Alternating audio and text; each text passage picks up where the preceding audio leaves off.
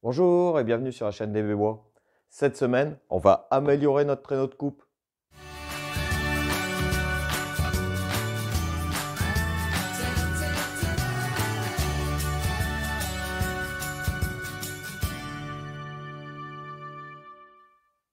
Alors, pour l'amélioration de ce traîneau de coupe, en fait, j'ai remarqué que dans le temps, il y a une dérive. Lorsque je l'ai fabriqué avec mes deux rails de guidage ici en polycarbonate, et, eh ben, et le réglage ici, comme je le referai voir plus tard avec les quatre coupes, ça fonctionnait super bien. Là, j'ai refait il y a quelques temps quelques coupes et j'ai remarqué que j'étais plus d'équerre. pourquoi? Parce que ce chariot, il s'use, il bouge, c'est du bois, et du coup, je n'ai fait aucun système de réglage. Là, ce qu'on va faire, c'est qu'on va faire du réglage ensemble. On va l'améliorer parce que maintenant, il faut quand même que dans le temps, il y a de la dérive, les pièces s'usent, etc. La lame bouge peut-être, il, y a, plein de choses, plein de paramètres qui rentrent en compte. Donc du coup, là, on va rendre les choses réglables. Parce que quand vous regardez bien, mon chariot maintenant, regardez, vous voyez, il y a un petit décalage comme ça. Je vais vous expliquer au tableau ce qu'on va faire et pourquoi il y a ce type de décalage. Bon, pour la modernisation de ce chariot ou traîneau de coupe, vous l'appelez comme vous voulez, mais c'est quand même très utile pour avoir des pièces d'équerre et faire des pièces avec beaucoup de production, des pièces répétitives, des coupes répétitives. Ce qui se passe, c'est qu'on utilise les deux rainures, il y a la scie ici, et on utilise les deux rainures de la machine. À chaque fois, sur tous les équipements, vous allez retrouver ces deux rainures. Donc, on vient fabriquer un chariot et on vient appuyer sur une partie de ces rainures ici pour avoir justement qu'il n'y ait pas de décalage. Parce que moi, le mien, les baguettes se sont usées dans le temps. Et en fait, mon chariot, maintenant, il peut se mettre un peu comme ceci quand j'usine, ou un peu, j'amplifie bien sûr, comme cela. Donc, il peut se mettre de biais. Bah, si je me mets de biais, automatiquement, ma coupe n'est plus bonne. Donc là, ce qu'on va faire comme amélioration, c'est qu'il y en a une, vous verrez après, qui est fixée sur le chariot. Et la deuxième, eh ben, on va faire des lumières dedans, donc plusieurs, j'en sais rien, on verra, avec des vis sur le dessus. Et comme ça, avec la première, on est réglé, et la deuxième viendra se plaquer contre l'autre glissière, et comme ça, j'aurai plus de jeu. Je mettrai un petit jeu, bien sûr, pour que ça fonctionne bien, mais il n'y aura plus du tout de jeu. Et ça sera réglable dans le temps. Si jamais, parce que j'ai remarqué entre l'hiver et l'été, ça bouge un tout petit peu, il suffit pas de beaucoup, à 5 dixièmes, 1 millimètre, moins d'un millimètre en fait. Et donc, du coup, je n'ai plus cette partie-là. Donc, je vais pouvoir le régler en été ou en hiver. Donc là, l'amélioration, ça sera de régler cette pièce-ci pour dans la deuxième coulisse. Et vous allez me dire, ça y est, c'est réglé. Mais il y a un deuxième réglage. Parce que là, en fonction comment je vais le régler, il sera peut-être plus tout à fait d'équerre. Il sera appuyé plus ou moins. Et pour régler les cap coupes, c'est pareil, ça sera un peu plus compliqué. Ce qu'on va faire aussi, c'est la pièce qui est ici à l'arrière elle aussi, elle aura des points de fixation, mais avec des pivots. Pas grand-chose, moins d'un millimètre de jeu. Un millimètre ou deux millimètres de jeu, c'est énorme. Par rapport à un point là, au point du bout, c'est énorme. Ce qui fait que là, on pourra régler la pièce pour pouvoir faire nos coupes à 90 degrés. Donc, vous voyez, en faisant un traîneau de coupe avec un réglage ici un réglage ici, bah là, ça y est, il pourra être réglable et on, n'aura plus cette dérive dans le temps. Alors, on aura toujours cette dérive dans le temps parce que quand je monte la lame, peut-être que la lame, maintenant, elle est montée comme ceci ou comme ceci. J'amplifie, mais c'est quelques dixièmes de millimètre. Mais sur une coupe de 300, on peut se retrouver à 1 millimètre au bout, 1 ou 2 millimètres. Vraiment, c'est pas très joli. On veut faire quelque chose d'équerre et on n'y arrive pas. Donc là, avec ces deux réglages ici, un réglage ici pour la partie qui va venir coulisser dans la machine et le réglage ici de l'arrière pour la butée, pour le 90 degrés, pour l'angle, ben, on aura fait nos deux réglages et on aura une pièce parfaite. Allez, fini les discussions. Maintenant, on fait la modification.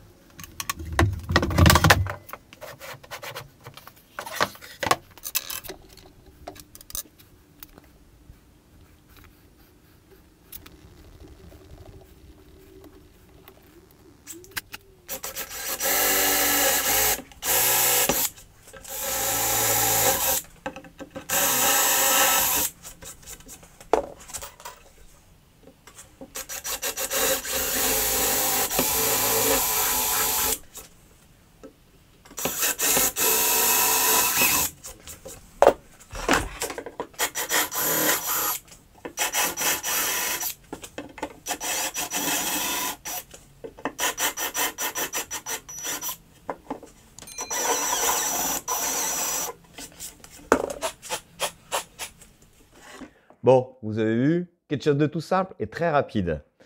Donc, moi, ce que j'ai mis, c'est que j'ai mis des vis CHC M5. J'ai percé un trou de 6. Comme ça, j'ai un peu de jeu dedans. Comme je vous ai dit tout à l'heure, il faut très très peu de jeu. Avec euh, un lamage, donc pour venir insérer la tête dans le trou, pour une vis de 6. Et là, pour le réglage, ce que j'ai fait, c'est que je viens mettre un tournevis ici. Je viens à fond et je viens mettre un tournevis entre les deux ici. Et je viens serrer la vis du dessus. Pour l'arrière, pareil. Je viens mettre un tournevis à l'arrière et je viens serrer et je recule vis par vis. Ce qui fait que là, je retrouve mon chariot de coupe comme au premier jour quand je l'avais fait. Donc c'est l'usure en fait du plastique, hein, parce que c'est du plastique qui frotte contre l'acier, donc ça s'use. Et bien là, ça y est, je n'ai plus du tout de jeu dans ce sens-là. Donc vous avez vu, là, j'ai réglé le système de jeu dans ce sens-là. Et là, je n'ai plus aucun jeu. Même en sortie ici, je n'ai plus de jeu de droite à gauche, donc il ne peut plus faire ça. Donc ça y est, là je suis bien content parce que vous voyez, faire des réglages, c'est quand même utile parce qu'il y a des pièces qui s'usent, il y a des choses qui changent, il y, a, plein de paramètres. Donc là, avec ce chariot de coupe ici, ça y est, j'ai enfin pu améliorer le guide. Donc là, on va continuer. Je vais démonter l'arrière ici, je vais mettre mes inserts et on va faire la même chose. Des lamages et des trous avec des vis en CHC pour venir régler justement cet angle avec les quatre coupes. Allez, on continue.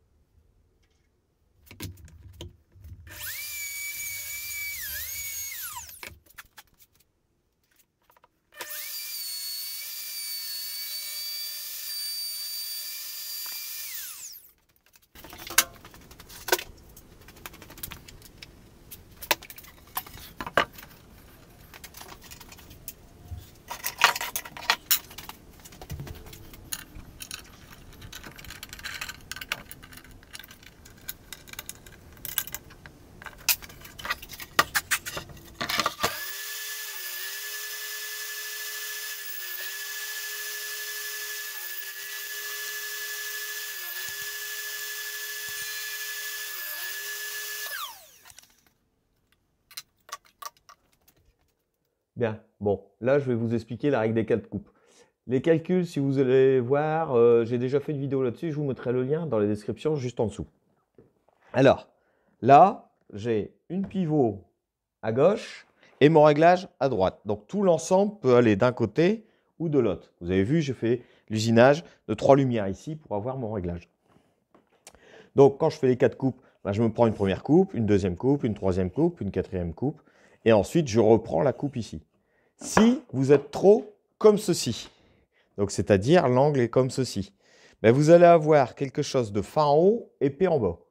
À l'inverse, j'ai fait la même chose, j'ai tiré vraiment très très fort, et là je suis épais en haut et fin en bas.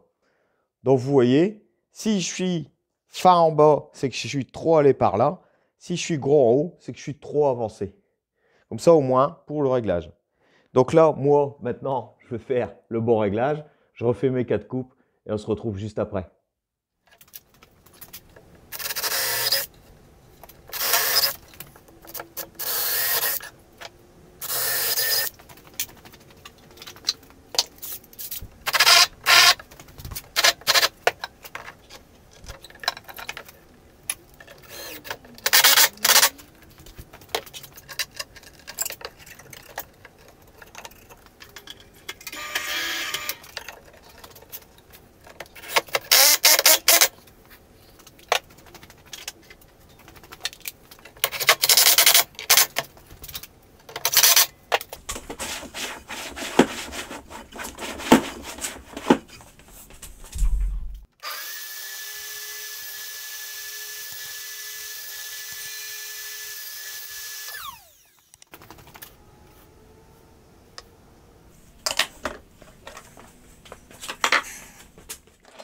Bon, ça y est, ce projet est enfin terminé. Donc comme vous avez pu voir, j'ai un réglage comme ceci pour ma barrette, pour l'écartement. Donc ça y est, il ne boite plus.